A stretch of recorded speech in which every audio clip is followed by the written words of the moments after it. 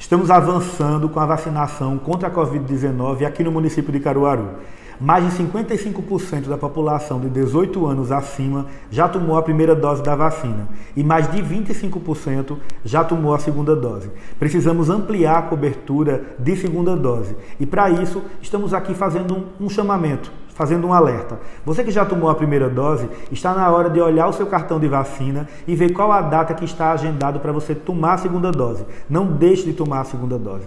Se você fez AstraZeneca e já faz mais de 60 dias que você tomou a primeira dose, você pode acessar o nosso site e fazer o seu agendamento.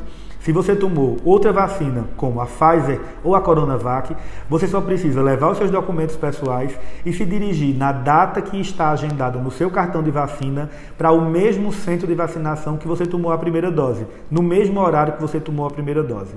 Só com as duas doses e o esquema de vacinação completo é que a gente realmente consegue ficar protegido e imunizado contra o coronavírus. É Caruaru na luta contra o coronavírus.